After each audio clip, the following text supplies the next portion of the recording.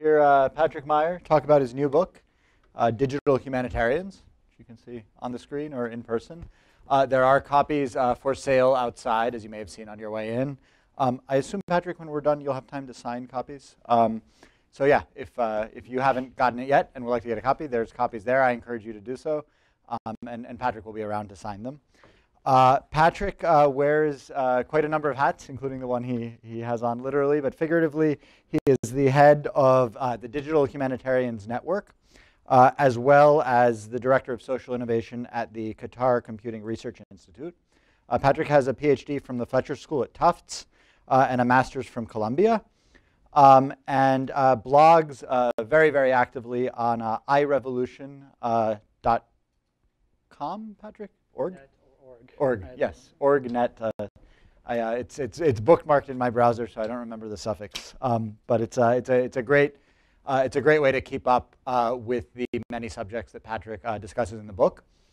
the book looks at, and I'll, let, I'll just very briefly, I, I, suppose I'll just let Patrick tell you what's in it, but it's got, it's got a lot of good stuff, both about social media, satellite imagery, UAV imagery, uh, and a lot of other great stuff. Uh, but uh, I won't tell you about it twice. I'll let Patrick tell you about it himself.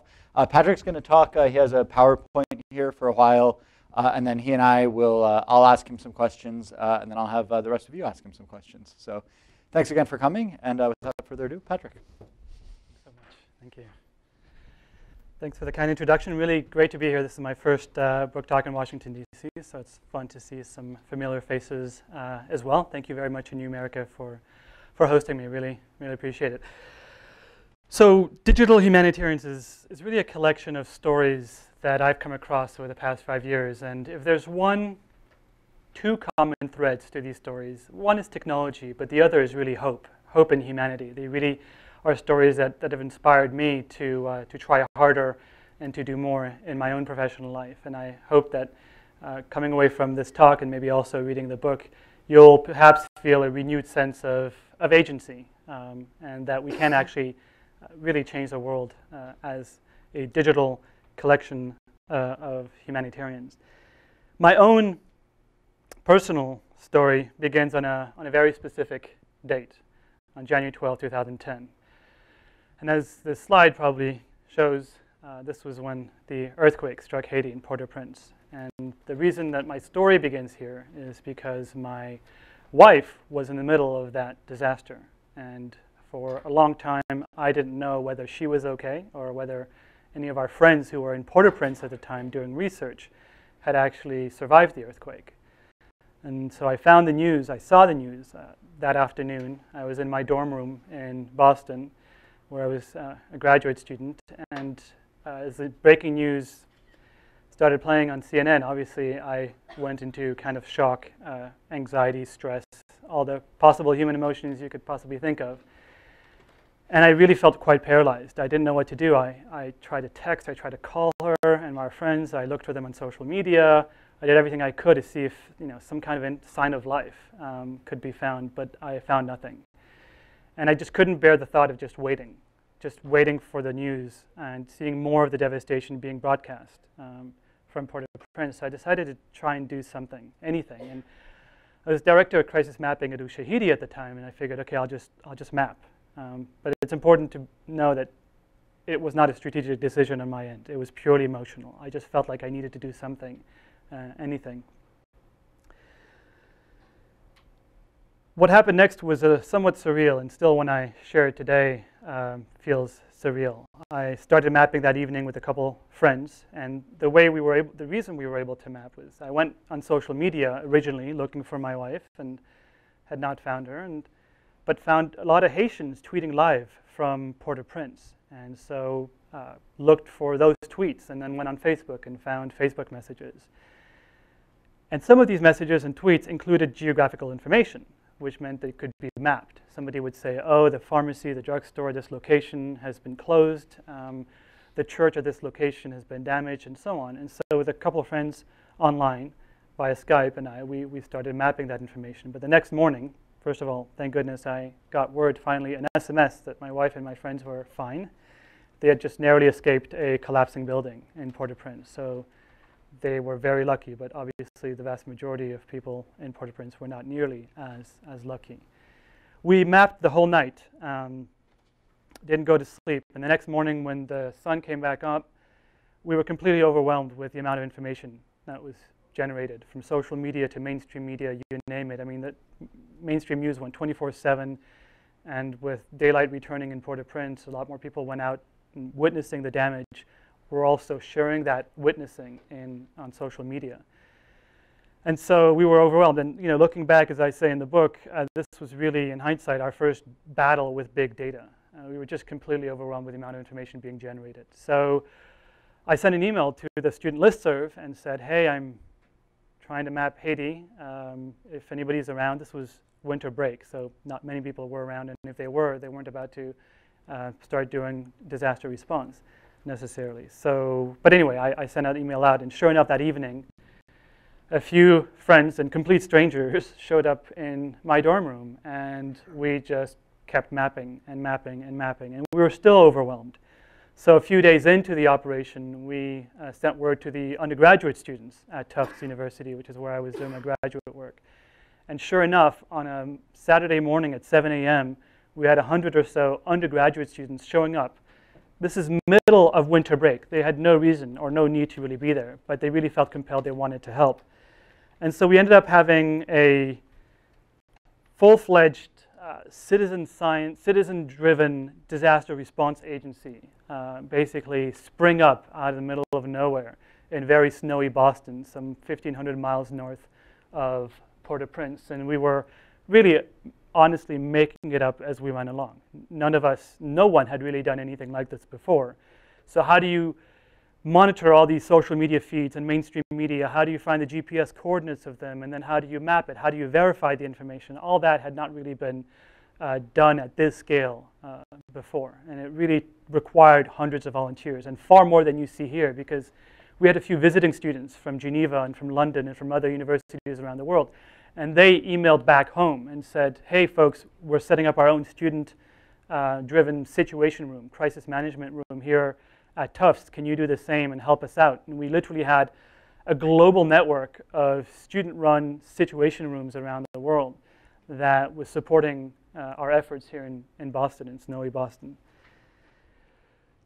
And it was a mess. I won't, I won't lie. It was a complete mess, making sense of all that information using the digital tools we had at our fingertips. And that was primarily Google Spreadsheets and um, Google Docs, Google Groups, emails, and literally copying and pasting uh, information we were seeing online. So it was all manual, literally reading tweets one after the other, finding those that were relevant, copying and pasting that into a Google spreadsheet, and then another team would be responsible for going through that Google spreadsheet, trying to find GPS coordinates.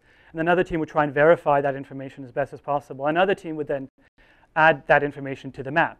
If you think more than 100 people were working on the same one spreadsheet at the same time, it was just chaos, complete, complete chaos. You know, cells were changing all the time. It was like a, a Christmas tree. And it was just the worst, possibly one of the worst ways to organize and manage information. But again, we didn't have the luxury of sitting back and writing the ultimate guidebook. We, we wrote that guidebook on how to um, do citizen-based disaster response online uh, as we went along.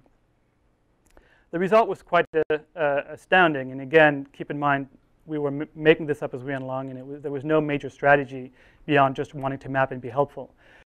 At one point in the operation, our I've been told this mic does a trick, so I don't need to do that. Um, our map looked uh, like this. It's actually a screenshot a couple of weeks in, and each of these numbers represent the number of individual reports within that particular area. So if you were to zoom in further, you would see 22 individual reports of damage and needs in that particular area. And this was really no ordinary map because this map did not look the same for more than 10 minutes.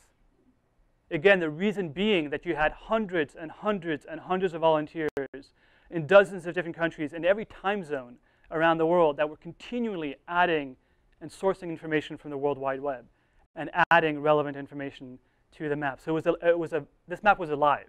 It was changing. It was evolving over time. About uh, 10 days in, we saw this tweet from Craig Fugate. Some of you may know Craig directs FEMA. So not a nobody in the disaster response space, and somebody who comes with decades of experience. And frankly, when I, when I saw this uh, tweet, I, I was like, are you kidding? Are you serious?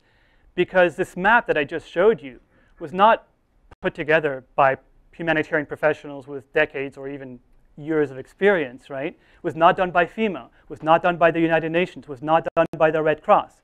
It was done by a bunch of students who had never done anything like this before in snowy Boston, collaborating with dozens of other student-run situation rooms around the world. Entirely online, digital humanitarian response. And yet they were referring to our map as the most up-to-date comprehensive map available to the humanitarian community. So this was rather surreal. Now, obviously, most people are not going to be on social media, and this was, I mean, especially true five years ago. Obviously, there are many more today. And we knew that very night after the earthquake struck that if we wanted to have some kind of uh, impact on the ground, we would want to necessarily go with, with SMS. Uh, uh, now, about 80% of Haitian households have access to a mobile phone. It was not obviously that high, but it was I think 60 or 70% in 2010. So through a series of accidents and luck, we managed to set up a free SMS shortcode. Uh, the number was 4636. It allowed anybody in Haiti to text that number for free to share their urgent need and their location. Because obviously it has to be actionable, saying that the orphanage, and this is a real text message, the orphanage, specific orphanage uh, was running out of water is all fine and well, but where is that orphanage in, in Haiti?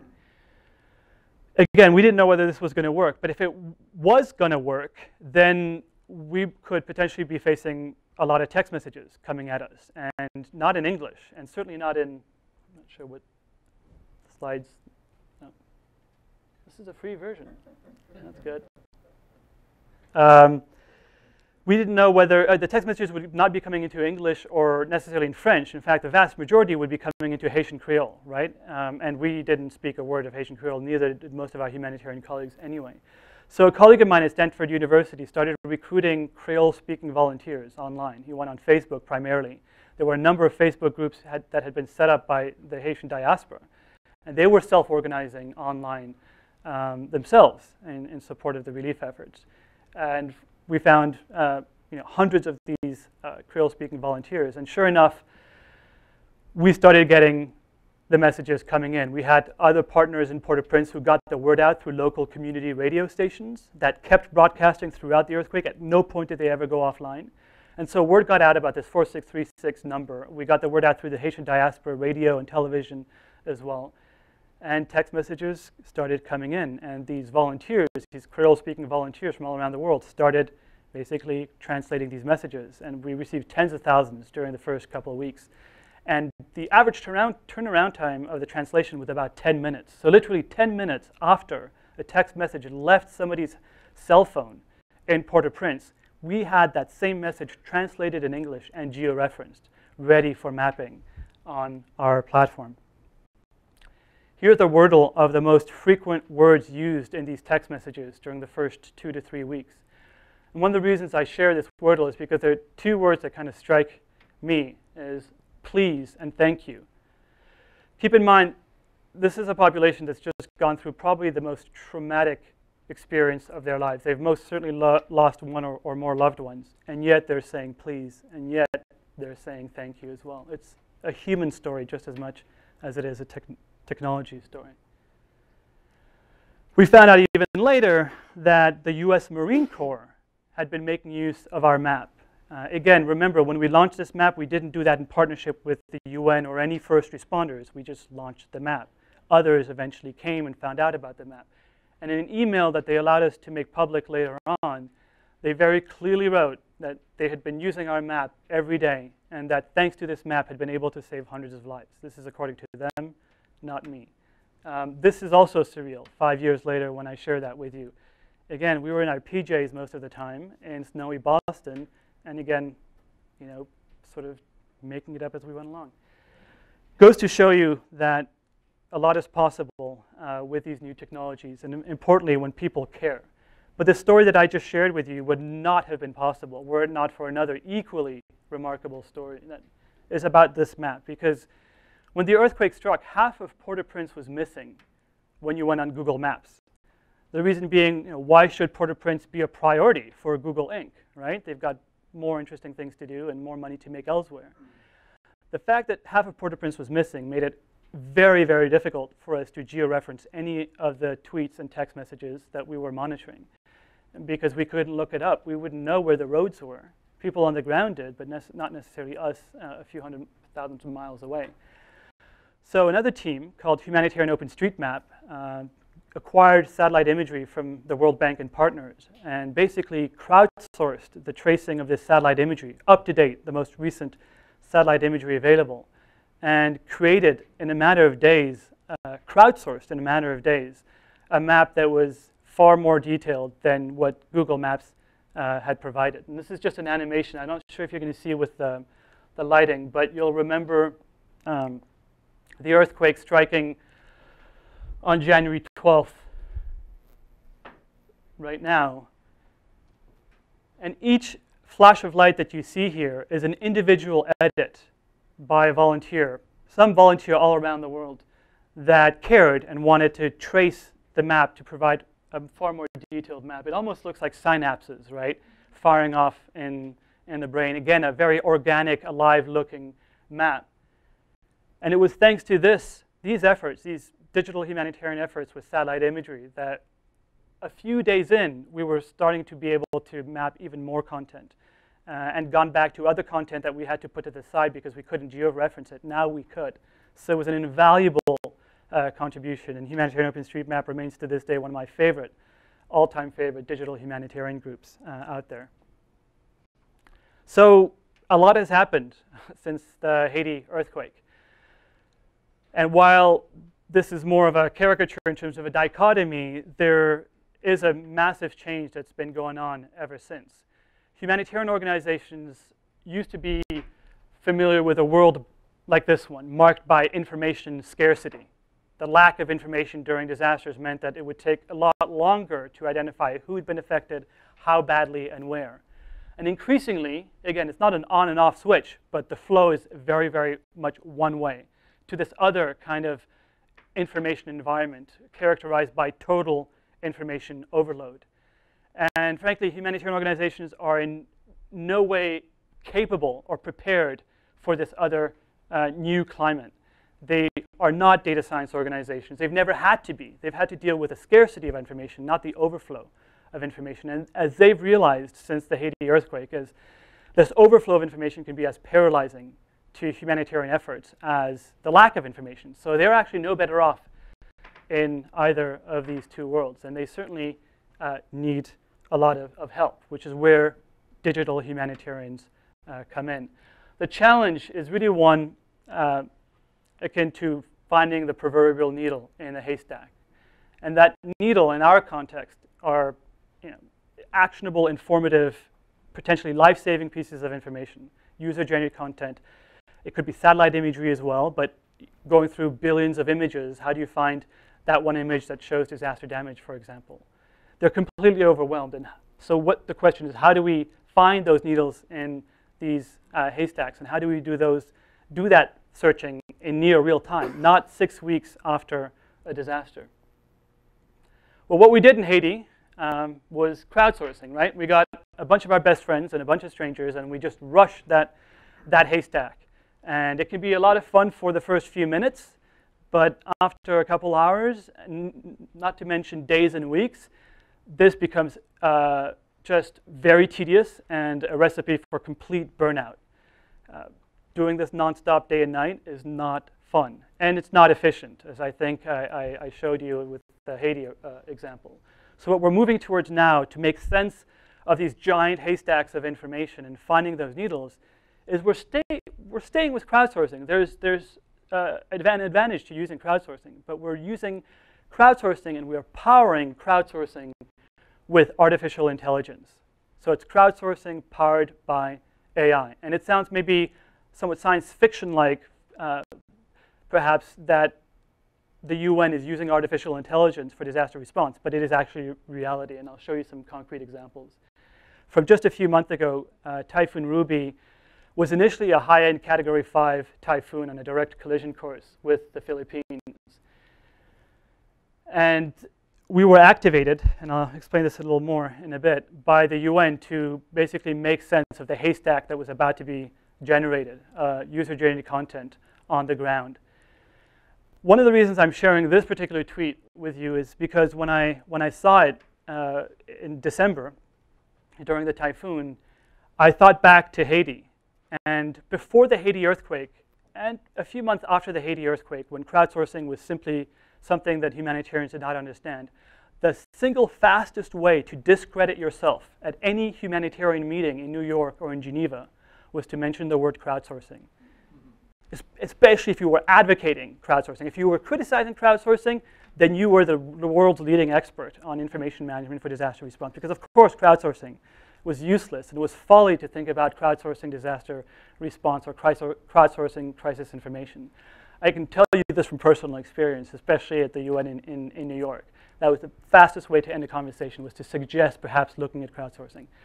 So to give the UN folks credit, uh, they've come a very, very long way. And we wouldn't be able to do this, uh, what we do as digital humanitarians, were it not for the change agents within these organizations. Now, unlike five years ago in Haiti, we have something called the Digital Humanitarian Network. And again, to give credit to our humanitarian counterparts in Geneva, this Digital Humanitarian Network was co-founded by the United Nations, by the Office for the Coordination of Humanitarian Affairs. And the purpose of this network is to provide humanita traditional humanitarian organizations with a search capacity that they lack to make sense of big data. And this, this is increasingly serving as the official interface for that kind of collaboration between decentralized, network-based collective action online and brick and mortar, top-down, hierarchical, slow-moving, uh, traditional humanitarian organizations on the ground. So the Digital Humanitarian Network was activated uh, just days before Typhoon Ruby made landfall. And the request received was to look at all the tweets being posted and identify which tweets referred to urgent needs. And to uh, look at the pictures being posted on Twitter and identify uh, pictures that showed infrastructure damage in order to help accelerate damage assessments that the UN was carrying out. To do this, we deployed a, an experimental prototype platform called Micromappers, uh, which is free and open source and a, a joint initiative, again, with the United Nations. And the purpose of Micromappers is to combine crowdsourcing, or human computing is the scientific term that my, my colleagues use, to combine human computing and machine computing, i.e. artificial intelligence, in order to make sense of different types of data, not only text-based information, but videos, pictures, Instagram pictures posted on, on Twitter, for example, as well as, as, as imagery, satellite and, and aerial imagery. This is exactly what digital volunteers from all around the world saw when they rallied in response to Typhoon Ruby. You'd see a tweet, we'd automatically collected the tweet, this is fairly straightforward, and then we would push the tweets to micromappers, and this is the interface, and volunteers would simply tag the tweet that correspond, the category that corresponded to the tweet, to the message in, in, the, in the tweet.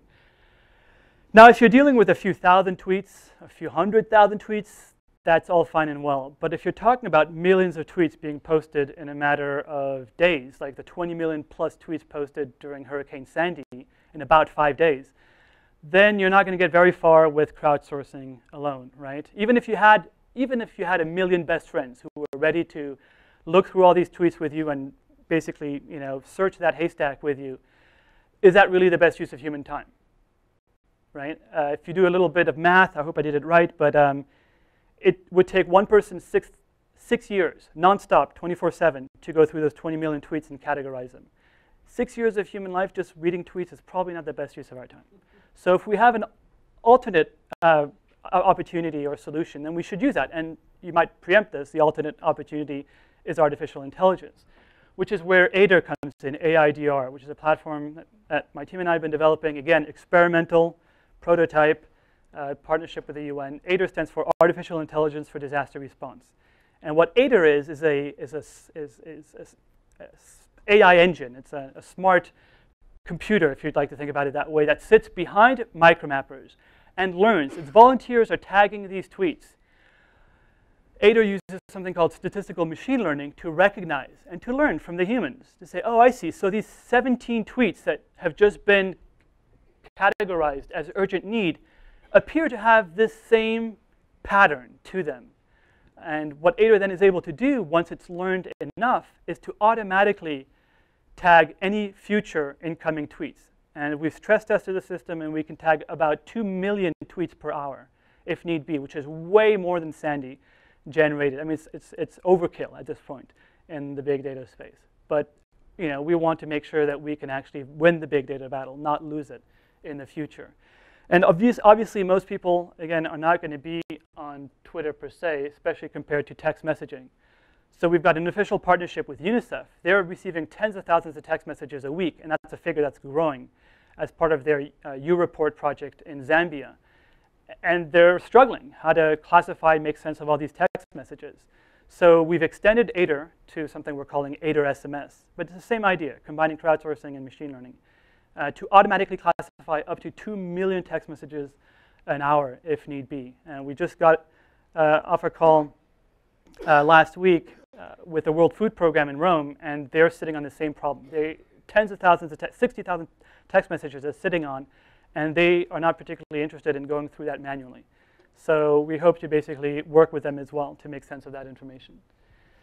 Imagery or videos, multimedia content is becoming more and more important, and this is not this is me sharing what I'm hearing from the American Red Cross, from FEMA, and other emergency management professionals. They, they you know, a, a, picture speaks a thousand words. And so the request we got from the UN in the wake of Typhoon Ruby was to also go through all the pictures being posted on Twitter, not three months after the, the typhoon, but as these pictures are being posted, identify them, push them to micromappers, and invite volunteers, digital humanitarians, to categorize, to tag the level of damage that they see in each picture. And that's really as simple as it is, unlike what we did in Haiti five years ago with the mess of the spreadsheets, right?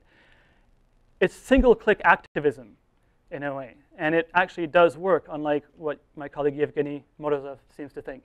Um, and I can give another talk about that. But um, what we've done then is basically as simple as this. If you can click like on a Facebook picture, you can be a digital humanitarian. And what we did is we showed every picture to at least five different volunteers because we want to ensure some level of data quality, right? And only if there was consensus that one particular picture, like say uh, this last one here, showed severe damage, would we take that picture and then uh, basically georeference it, put it on a map. And that's exactly what we did with hundreds of pictures, sharing that information, put it on a map, and that gave the UN a very rapid assessment. Uh, quick and dirty is perhaps the best way to describe it, right? It's not perfect by any means. But the UN's definition of a two-week uh, disaster assessment, of a disaster, a rapid assessment, is a two-week assessment. And that's not a criticism against the UN. They have to do this on the ground, carry out the surveys, assess the damage. But they realize full well that they would prefer to have something before two weeks, an initial sort of quick and dirty look, uh, understanding as to how badly the damage is and, and, and, and where, which is why, precisely why they're partnering with digital humanitarians. This was the resulting Twitter map for uh, Typhoon Ruby that was shared with the UN and, and shared publicly. Uh, the underlying data with the personal identifying information that was only shared in private with uh, humanitarian partners. So that gives you an example of artificial intelligence being used um, for disaster response and being driven by digital humanitarians around the world. Now, where are we going with, with micromappers as a so-called next generation humanitarian technology? Well, there's not only tweets, right? And there's not only multimedia content. There's a lot more information out there that we need to make sense of. And that includes satellite imagery. I've talked about um, social media and so on. Uh, multimedia content, text messages, um, aerial imagery, I'll say a bit more about that in a bit. And of course, let's not forget mainstream news, uh, which now, thanks to the GDELT platform, we have direct access to. All, basically, all of the world's digital news we have access to in our fingerprint. And that's certainly a, a source of big data as well. And we want to make sense of all that information using a combination of human computing and machine computing, filtering that information from these different sources, and layering that on one map because there have been a, a number of really interesting peer-reviewed studies in the past year that have showed that these different layers can help enrich other layers. Right? Having social media map and layering an aerial image over that is hugely beneficial, other, as well as other types of geodata. But there's still a challenge. Yes, we're finding those needles in those growing stacks of information, but what if those needles are not to be relied on, especially with social media, right? We can't trust everything that we see on social media. So how do we make sure that what we're uh, collecting and putting on those maps is fairly accurate, uh, at least fairly accurate, reasonably accurate? Well, this brings me to the red uh, balloon challenge, which some of you may be, actually, how many of you are familiar with the red balloon challenge? Okay. So this was a while back now, back in uh, six year, 2009. DARPA uh, discreetly planted 10 red weather balloons like uh, this one and put up $40,000 cash prize to the first person or team that would find the accurate location of these 10 red weather balloons. This is a great example of looking for needles in a haystack. We're talking about what's the surface area of, of the US? Three, four million square miles. In three, four million square miles, you're looking for 10 little red weather balloons. So for those of you who have not heard about this challenge, uh, how many weeks do you think, or if you want to be bold, days, do you think it might have taken um, to look and find the accurate location of these 10 red weather balloons? I'll start with three weeks. So does anybody courageous enough to say less than three weeks? But you know the answer. Okay, two weeks. All right. Do I hear one week? Yes. Do I hear five days? You're a bold crowd, do I hear three days? Uh, I don't know. Some of you are cheating, I think. So uh, a whole eight hours and 40 something minutes. And this was done entirely through crowdsourcing. The team, obviously from MIT, these guys keep winning everything, which is kind of boring now, but um, crowdsourced the search for these 10 balloons on social media. They never left the laptops. They never had to because we're increasingly human sensors all around the world with our cell phones. And so they use a very fun and smart uh, strategy, which they refer to as time-critical crowdsourcing, to very, very rapidly identify eyewitnesses who might be walking by these balloons and basically have them take pictures and confirm the location of these uh, red balloons. So this is uh, pretty an amazing uh, feat, right? Now, what if we could use this for, for crisis events? This is a great example, an Instagram picture. There was a train crash out of, outside Paris a couple years ago, and here this person who lives, as he says, 20 meters from this crisis event, snaps a quick picture, puts it online, makes it searchable and findable on social media, on the World Wide Web, even if you're in Australia. So we're increasingly acting as digital witnesses around the world. So what if we could, instead of looking for wet, red weather balloons, we could look for information relevant during uh, disasters. Uh, and certainly not relatively small events like this, but major Category 5 hurricanes like, like Hurricane Sandy. You, you may remember the footage on CNN at the time. It was really, obviously, huge, huge. Okay, please laugh and reassure me that you, this is not true footage, right? No, no, no, not exactly real, right? Um, I think from a day after tomorrow or some, yeah. So, but, but this footage was being shared on social media during Hurricane Sandy. And we know from other disasters thousands of years ago to today that there are rumors that spread during disasters. And it's certainly not helpful. Uh, we need to find, find a way to verify them. This was another picture, one of my favorite, that was shared during Hurricane Sandy. All my favorite superheroes, right? Uh, in one. Now, you don't need a PhD in computer science to tell you, hey, I think this picture is probably not authentic, right? Uh, but what if you'd seen this picture first? Might that give you pause? I mean, it gave me pause. I wouldn't know, right?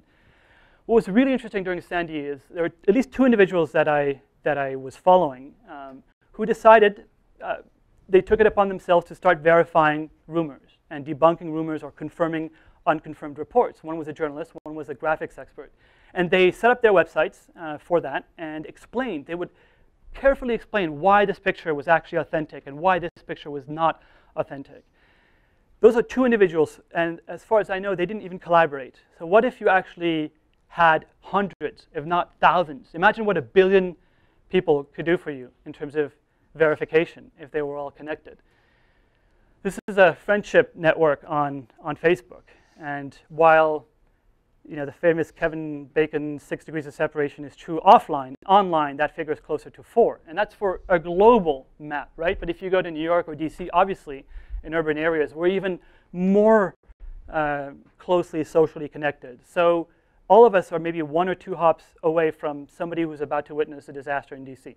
Just one or two hops going through one or two of you, we can find that eyewitness. So could we use that same idea um, from the Red Balloon Challenge? And instead of searching for, for balloons, we can search for truth. Uh, sounds grandiose, but maybe we could to verify content and rumors during disasters. And that takes a new form of detective work. Uh, what we've done is to help this uh, along is we've set up the Verily Digital Detective Agency, where we are looking to digital humanitarians and digital volunteers to become digital detectives. And the platform they're using is the Verily platform. And this is an example of a recent uh, uh, deployment we did with the BBC.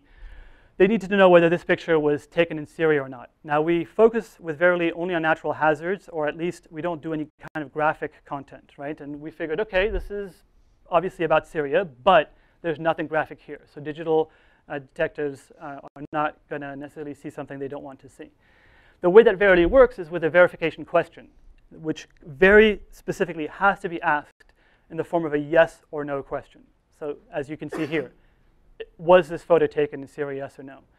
And then you might see if you're up close, but in the back perhaps not, there are two ways to answer this question. Yes, because, and no, because. That because is really important. We're not just digging up and down, what do you feel might be the answer? We want people to actually be digital detectives. We want people to go out and try and discover whether or not this picture was taken uh, in Syria and to explain why. So not only are we trying to crowdsource the search uh, or the recruitment of digital detectives and crowdsource the search for evidence to answer these verification questions, we're also looking to crowdsource critical thinking. We want to try and and stop this mindless retweeting during disasters that helps spread rumors that is very unhelpful to everyone and get people to think, right? Now, we don't expect folks to be miraculously uh, adept at verifying information during disasters.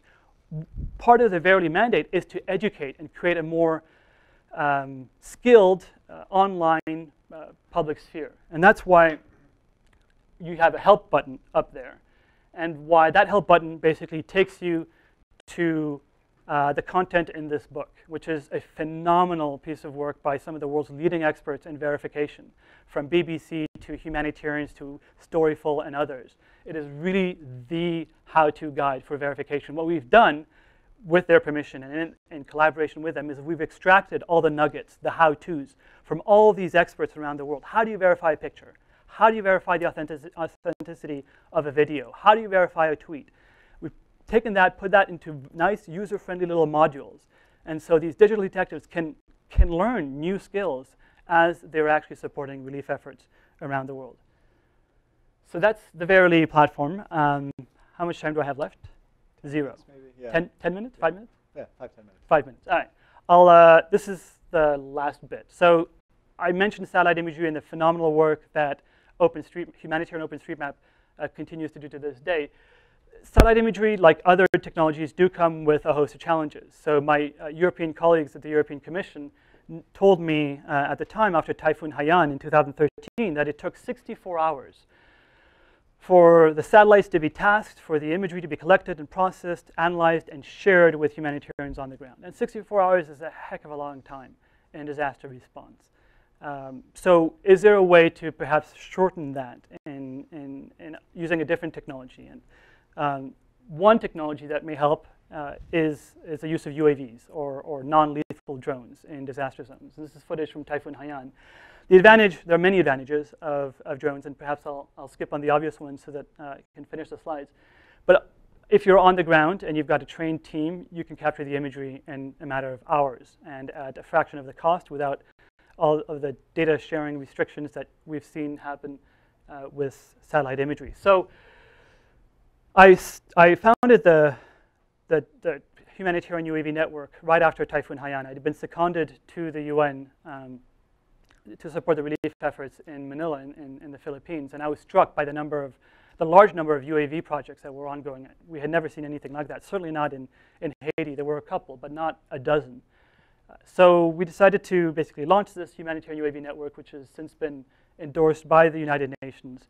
And the UN also sits on the advisory board together with the Red Cross, the World Bank, the European Commission, leading UAV manufacturers, as well as experts. And what we do is we match UAV experts and pilots with humanitarian organizations around the world within hours, if not just a few weeks ago, within half an hour of a request we got from the World Bank for drone pilots in Malawi, we were able to provide, put them in touch with uh, vetted professional pilots. So this is not a hypothetical. Uh, humanitarians are already starting to experiment with, with drones for disaster response, but they can't be everywhere at the same time, right? And in fact, they're increasingly overstretched, which is precisely why uh, we created this crowdsourced crisis map of aerial videos and aerial photos of disaster zones.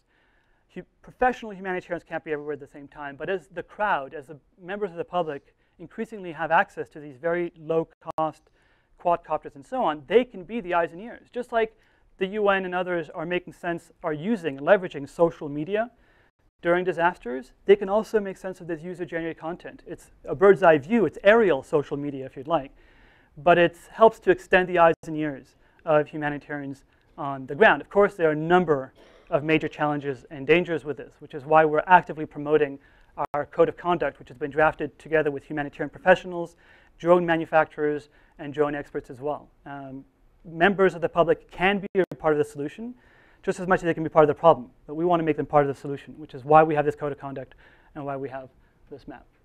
So I'll just skip ahead as a, the CTO of FEMA recently said, aerial imagery is bound to become a big data challenge.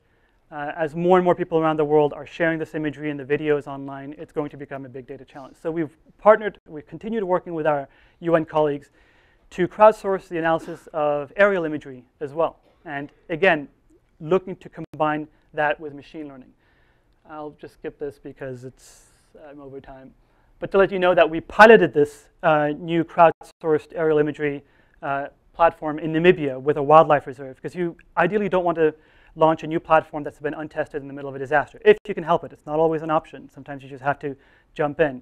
But in this case, uh, we were able to partner with a wildlife reserve. They were sitting on tens of thousands of aerial images of their wildlife reserve uh, because they want to know what kind of animals they have, how many, in order to do better protection. There's a huge rhino poaching issue in Namibia. So we crowdsourced it, something that would have taken uh, the rangers themselves, and they told us it would have taken us months to look through all the images when they actually have to be not behind a computer, but out in the bush, hopefully saving the wildlife.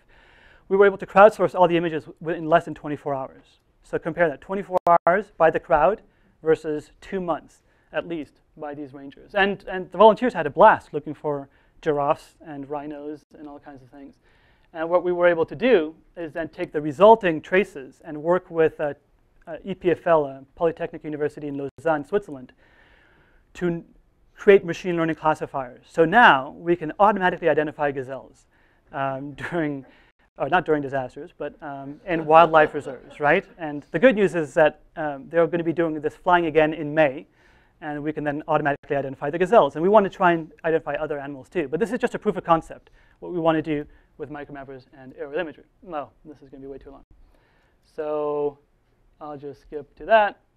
You'll have to read the book. Planetary Response Network is something I'm very, very excited about. I want to end with, with this slide and just say, you know, when I, this is from Haiti, just to come back and close with, with Haiti.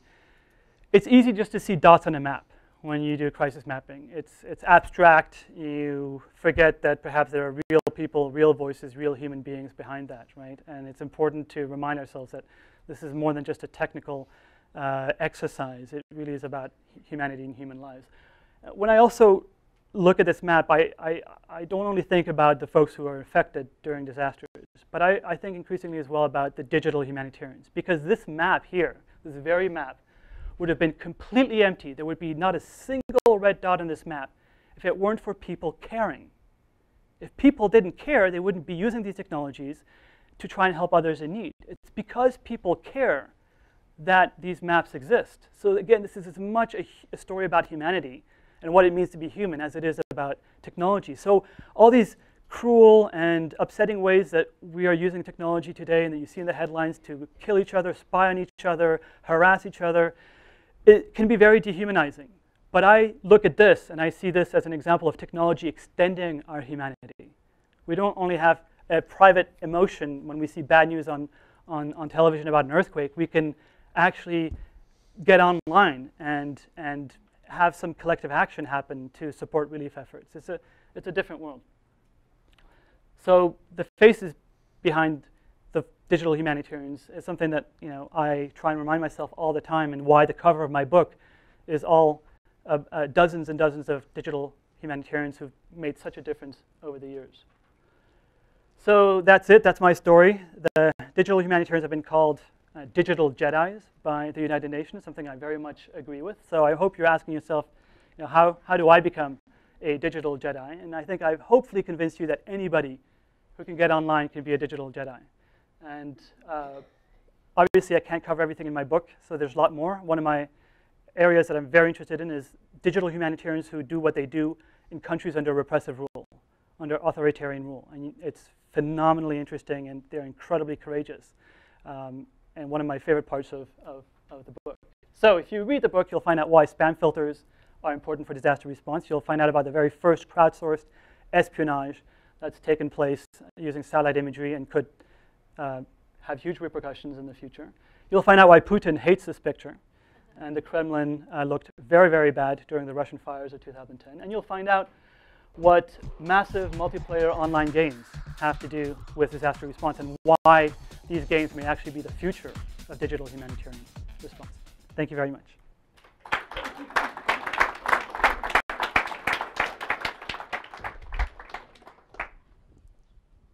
Uh, thank you, Patrick, uh, for that for that presentation.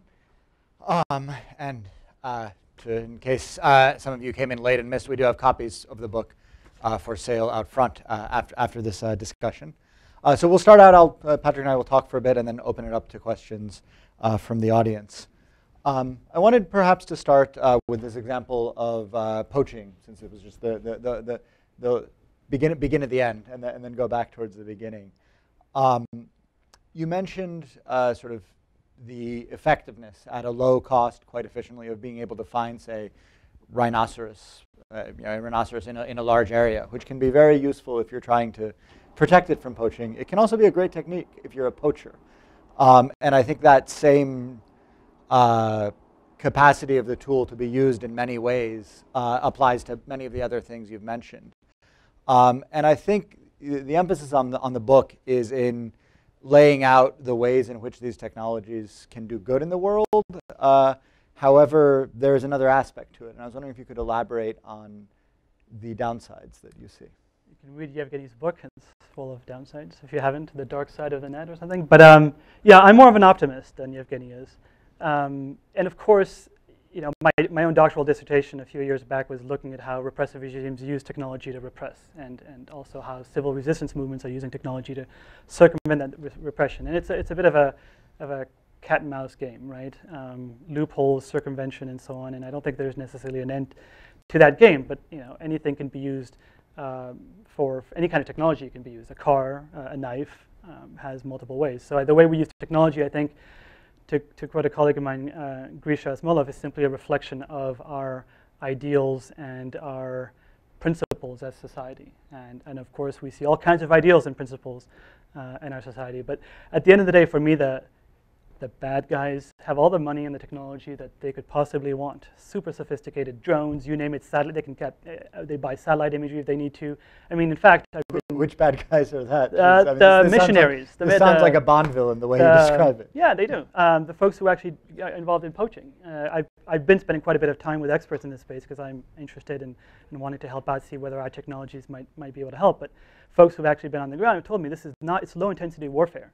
These are folks who've been fighting in all kinds of uh, civil wars and, and wars around the world who are mercenaries and they have the latest, most expensive military equipment to go and hunt down these rhinos and these, these elephants. So um, they won't need anything that we're developing. They're far, far beyond that. What we're looking to do is try and maybe, you know, even the playing field a bit. And of course, if we do ever get to a point where we develop a machine learning classifier for uh, uh, rhinos, we're not going to make that public. We didn't make public where uh, those rhinos are located based on the imagery that we, we tagged. That's totally private, and it's up to the rangers themselves to decide whether they want to make that public in one, in one form. So data privacy, data security is also a very uh, big uh, point in, in my book that I devote uh, quite a bit of time to because obviously it's not something you can, you can overlook. It's really, really uh, key. Uh, you have to be careful, and uh, it, can, it can certainly, things can backfire. There's no doubt about that. Um, you mentioned sort of automatic classifier for rhinos or the automatic classifiers for the degree of damage that, that an image has, has that an image shows. Um, again, sort of along these same lines, uh, automatic classification can be a very powerful way of getting through large amounts of data very quickly. Um, it can also be if you're sort of coming up against an algorithm because your picture, there's severe damage to your house, but it doesn't appear in the picture and you can't get past uh, the sort of algorithmic gatekeeper. Uh, and I'm wondering, again, sort of what your thoughts on, on, on that are. Yeah, no, that's a, also, it's, it's, well, you know, you was, automation is going to be the only way to make sense of big data, or semi-automation is, there's no, either we try and make sense of, of big data or we don't. Uh, if we want to, we have to move to semi-automation. And, and I think there's, there's a lot of ways that, that you know, big data analytics can, can actually support uh, uh, good efforts um, that are in line with, with human rights principles and, and so on. Uh, it's true that there are issues with big data as well. It's, uh, there are bias issues, exclusivity issues. If you know you don't have a digital footprint, you don't count, or you're potentially marginalized as well. There's no doubt about that. And I think the solution to that is not necessarily a technical solution. And some another point that I that I really try and drive home in the book is there there's so there's only so much that technical solutions will will will give you we also need enlightened policymaking, enlightened leadership, and, um, and the appropriate laws and regulations and accountability measures in place in order to minimize the harm that can happen from the use of these technologies. That's the hard bit, if you ask me. The technology bit and the AI, relative to the, the policies, that's, that's the easy bit. They've been, my, my colleagues who have PhDs in, in this computer science and so on have been doing this for years already. It's not new to them. But it, it, the, it's going to be about the social aspect of this and the politics and so on, which is a lot more messy, which is why we need advocacy, which is why we need more transparency and accountability in this space. Sure. So those are both sort of questions about the potential harm that, that, that might occur from the same set of technologies. Uh, conversely, another thing I'm curious about is not how things might be used badly by bad people, uh, however we wish, which is, I think, a, a, a, discussion that requires probably a great deal of political nuance that we're sort of skipping over for the, for the present talk. Um, however, also knowing that what you're doing is in fact making a difference, that the, the data you're gathering has an effect. You mentioned, uh, that sort of struck out at me in the, in the book, that you had in fact commissioned yourself an outside study of uh, your efforts in Haiti uh, by a group at SAIS, and, and said that that study uh, sort of had some different results, some similar results to, to what you thought. And I was wondering if you could sort of discuss that process yeah. of, of how one goes about evaluating the effectiveness of that's, these sorts of efforts. That's a really, really good question. Um, so the, the study was done by Tulane University, I think it was, just to give them credit because they did, did, they did a lot of work. Um, and the results were very mixed. They were very mixed. Now, granted, this, the evaluation, the impact assessment it was carried out a year and a half after about the, the Haiti earthquake. And so they did go to Haiti about a year after the earthquake to try and interview people, but I mean, a lot happens after in finding people, trying to interview people a year after a major disaster. So there were some right. challenges that they faced, but it was mixed none, nonetheless. It was mixed results, and I think it's very fair to say that more than anything else, at least with respect to the uh, Ushahidi platform and the crisis map there, it showed a potential. Again, it was very messy, as I think I, I showed you guys. Um, certainly not perfect, but it showed a potential and it showed that people cared. And if you marry that care with technology, potentially really important things can happen. Uh, less, and that was the evaluation specifically on the crisis map, right. uh, not, not on OpenStreetMap. The OpenStreetMap was phenomenal, and the impact they had was absolutely, it was yeah. very well done. And certainly, as, as the book sort of narrates uh, very lucidly, those technologies have evolved a great deal in the last been, five years. It's been so, five years, but it's um, still a challenge yeah. on, on impact evaluation. It's, uh, it's really, it's very, it's, it's really hard because we can't necessarily be on the ground and doing the evaluation ourselves. In fact, we shouldn't be. It should be an independent, professional uh, team uh, that does that. The only reason we were able to do the evaluation or commission the evaluation in Haiti was because we had a, a very wealthy private individual who was so taken by what we had done in the basement at the Fletcher School at Tufts that she basically literally wrote a check for a lot of money um, and said, do whatever you want with it. And we said, well, the most important thing we can possibly do with all this money is commission somebody to do an independent evaluation to find out really what worked and what didn't work. And that, that whole check went directly to the team at Tulane University. Um, getting that kind of funding to do evaluations is very, very, very hard. And uh, I would love nothing more to have that same team or other teams do evaluations of everything that we do from start to finish. If you know where to find the money, yeah. I'll, I'll make it happen. You know, the best we can do right now, unfortunately, is anecdotal. Uh, I'll, I'll, I'll, say, I'll add this. You know, when, when a humanitarian organization wants to activate the digital humanitarian network, they have to fill out a form. They have to apply um, uh, to actually activate the network. And we make it very, we don't make it very hard. We don't make it easy for them to activate the digital humanitarian. They have to make a very, very compelling case that the data they want is actually data they really, really need and can't get any other way, and not only that, but that they, if we did deliver the data, that they would act, it would actually be used operationally on the ground. If they cannot convince us of that, we say no. And we have said no before, and we will continue to say no if they can't actually. So the burden of proof is on, is on their end, right? That's how we try and uh, make sure that if we do create the data and we do mobilize hundreds of volunteers online, that there's a very, very good chance that they will, it will be used in the field and hopefully have an impact. That's the best we can do right now. In addition to then after a disaster saying, okay, how did you use the data? Where was it used? But frankly, for humanitarians, it's, they don't even know what the impact of their own projects are for the most part. With traditional data, with nice, clean, you know, beautiful data sets, uh, they don't know what their impact is as well. So there's a huge issue in terms of decision making within the humanitarian space. They understand it's an issue, they're trying to do something about it, but it's not because we're throwing social media at it that it's going to solve a dysfunctional, structural dysfunctional uh, problem within the humanitarian space. Well, I have many more questions for Patrick, but I think the irony of uh, giving a talk about crowdsourcing and not leaving time for questions from the audience would be a bit rich. Uh, so uh, please do wait for the microphone to come to you because we're broadcasting this on the web. Um, the gentleman in the back seems to have raised his hand. Oh, he has the mic. Oh. I actually would like to uh, throw out as a fellow digital humanitarian, um, Patrick's book is a pretty awesome explanation of this. And I'd also like to throw back for him to respond. All of us who have been in this, we've always heard this threat that outside people are going to use these systems to do something, and it's just not happened. And part of it is because of the open nature. You're signing into OpenStreetMap, you're identifying yourself. And in social media emergency management or digital Jedi-ness, being reputable is as important as the information you're conveying. I don't think I have anything to add. If Patrick doesn't have anything to add, I do very briefly, which would just be to say we have seen a lot of discussion about the use of social media by, say, radical Islamist groups. Um, which is part of this same broad discussion about this technology. So I think it's empirically false to say that we haven't seen any use of, of the sort of this set of technologies to do things that are generally not desirable in the world. Um, anyhow, on to the next question uh, here in the front. Just, I don't, I, yeah. I, that's not how I understood your comment, just FYI. I think, for example, we don't have any evidence that the Libya crisis map that I write about in the book uh, was used uh, by Gaddafi loyalists or anything. And in fact, uh, also another example, the Syria Tracker, which is a Syria crisis map, the longest running crisis map um, that I know of. When I spoke with uh, Syrian activists who were here in Washington, D.C. Uh, a couple years back and, and told them, aren't you worried that this Syria crisis map is actually providing uh, the regime with in, increased situational awareness?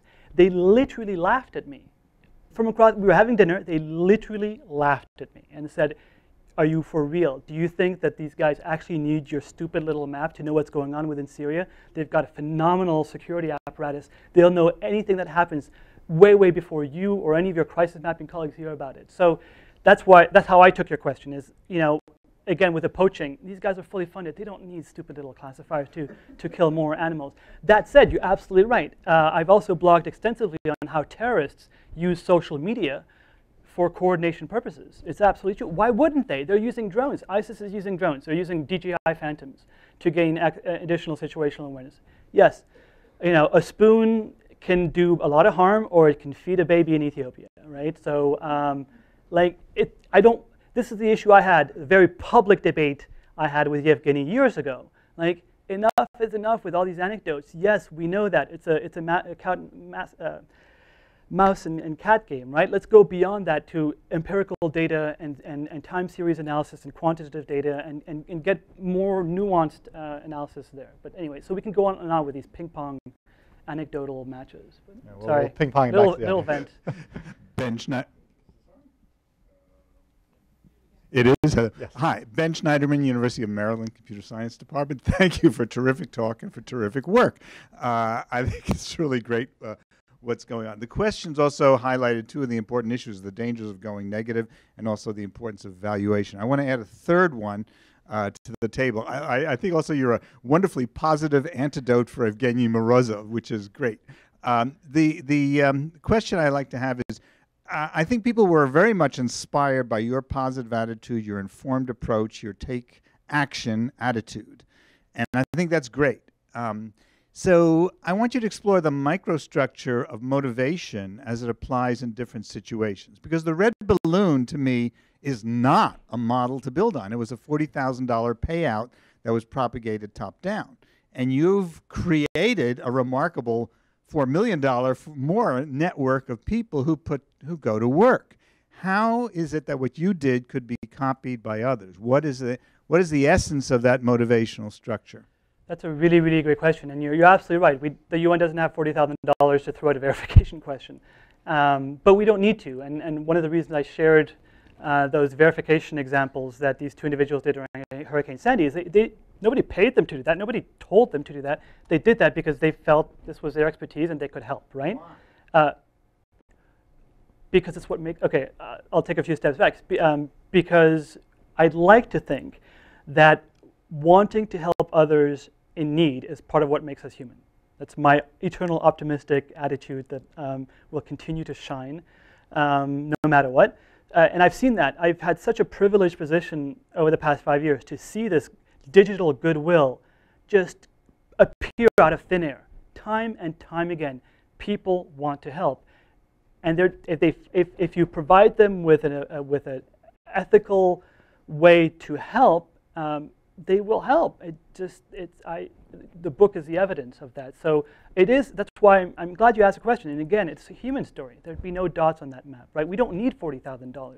Now, the challenge is, a few months after the Haiti earthquake, I get a call from my World Bank colleagues who say, right, not very, very nice, Patrick, well done. Now, um, for these other issues, the slow burn crises, climate change, poverty, and so on, how do you mobilize tens of thousands of digital volunteers to care about that? And it's a very, I, I, what I do in sudden onset disasters is easy compared to what others have to do with the chronic disasters that are happening around the world. Those don't get media attention. People don't react in the same way. It's harder for them to understand what's happening, and they feel more removed from it. Um, the example that I've given, because it's a question that has rightly and importantly come up in the past, is uh, from what Humanitarian OpenStreetMap did in Indonesia. What they did is they went local somebody in the world cares about baseline data in Indonesia because it's important for disaster assessment and disaster response and disaster risk reduction and so on. There'll be folks actually living in these villages, in these cities and towns in Indonesia. It matters to them that their town is very well mapped on, on OpenStreetMap. It won't matter to a skateboarder dude in San Francisco as much, right? They won't feel as compelled to. So the, it's a different incentive structure. It's a different incentive mechanism when it comes to these slow burn crises. You, you'll, if you can find people who are affected by that, there's a feedback loop that exists, and they see the situation getting worse, and then they give them an opportunity to perhaps do something about that situation. The incentives are there; they are already there. It's a matter of finding, finding. You, you said that the effort just appeared. You made it appear. Okay, let me let me let me. Better what it is that you did that others failed No, no, no. It's nothing to do. It's no, no, no. It's nothing to do with that. It's to do with the emotions because the, my wife and the other friends that we had in Port-au-Prince were all part of the Fletcher School. We were friends. We knew each other, right? There's a community there. The, the social ties, the social capital was already there. When some of our friends, my wife, all of a sudden basically went missing, there was a social network that cared about these individuals, that could identify, we're all Fletcher School, we're all graduate students, right? We're all studying international affairs, we all want to make the world a better place. So I immediately went to that network. It was my immediate network, and the ties were already there. And then it propagated, but it didn't jump all the time, right? It would be a, a visiting student from Geneva who went called back in Geneva and said, hey, look, look what we're doing in Boston. So that social capital is really, really important. And then I think over time, this whole space has definitely taken a, a life of its own. And there's no way I can or would ever take credit for that. It was just that initial little emotional reaction, my wife got, going missing, right? Um, so, we'll yeah. move on. We only have time for maybe two more questions. And before we do, just briefly, because there have been a couple of pot shots taken against Evgeny Morozov, whom I have no personal connection with. I met him in passing. His book, Patrick's book, is very good. Evgeny's book, To Save Everything, Click Here, I think is also very good. You may disagree with it. I think it's worth reading, and I think it's not that he's sort of simply waving his hands and saying technology is bad. He's making some nuanced arguments that people might take issue with, but I would say it's, it's worth reading his book as well. Uh, anyhow, we'll take a couple questions. The lady, uh, the lady up front here.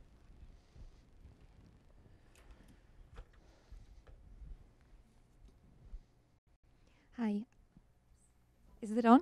Yes. yes. Hi, I'm Alan Morrison with the World Bank. Uh, we are great fans of your work, so thank you for your presentation and look forward to reading your book. Um, a couple of questions. One is um, I'm curious whether you explored the use, I'm sure you have explored the use of other types of data sets and um, what is the future that you see for other types of data like sensors and perhaps CDR data. So would be curious to hear that. And also, um, as governments are starting to look into investing in big data, let's say if a government with limited resources is interested in putting some kind, kind of you know, infrastructure, policy, capacity building in place into big data with the focus on emergency preparedness, what would you recommend they focus on? Thank you. Oh boy, I don't know that I can answer that second. I'm not qualified to answer that second question, but I'd love to brainstorm with you, um, you know, later. Um, in terms of uh, sensors, yeah, this is an exciting uh, new area as well. The advantage with uh, sensors is that they're already in, in a way in, a, in, in, structured digital format, and so it makes it a lot easier for analysis compared to unstructured social media, text messages, and so on. And we're definitely going to have to. Be, that's going to be another layer on that on that map. That you know what I should really add.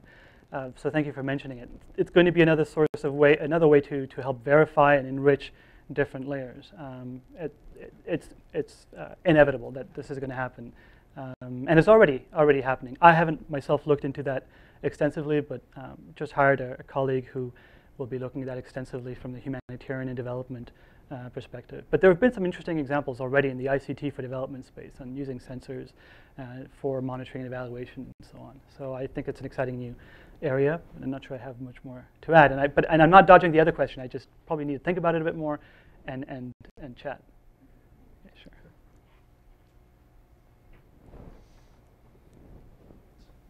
Uh, so you mentioned the Red Cross and the UN. How do you find those other organizations that you didn't mention and get them interested and, and make them understand why this is useful and why they want to do it? Uh, that's a good question. It, it, comes, it comes down to individuals. It's, it's uh, individual relationships. I've had the good fortune of working in the humanitarian space for a good 10 years and have built just professional connections and so on. And the only, it's because I, re I really want to give these individuals um, a lot of credit. And the folks within the UN and the American, American Red Cross and ICRC and others who get, who are, it's unbiased, who get it. And the rest of the organization does not get it and yet they're able to work the system, sometimes to circumvent the system and ask for forgiveness later in order to collaborate with us. And that allows them to start demonstrating the value. They'll say, look, we were able to do this assessment in three hours and it would have taken us three days.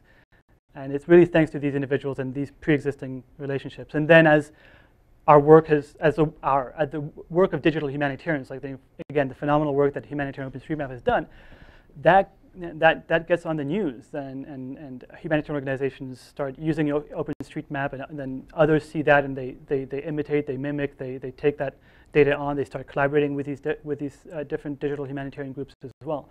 So it starts uh, to spread. And I really didn't think we'd be here in 2015. I still, I still, you know, I, I thought it would take another five years to get where we are at in terms of being able to collaborate officially and directly with established humanitarian organizations. And it's in large, large, large part thanks to those individual change agents during these, in, within these huge traditional dinosaur organizations.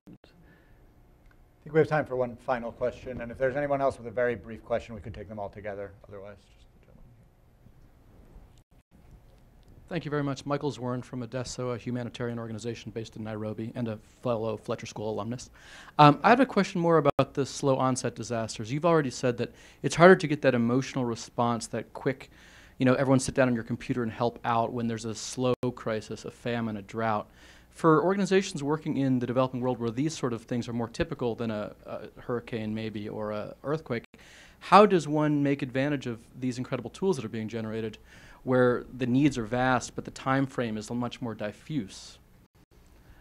Really good question. Again, it's, it's a hard question. Um, so I partly answered that with respect to suggesting that the incentive mechanisms are there. We just have to find out how to tap into it in the most appropriate way. Let me answer it in a different way now and say maybe it's also a design question, a design issue.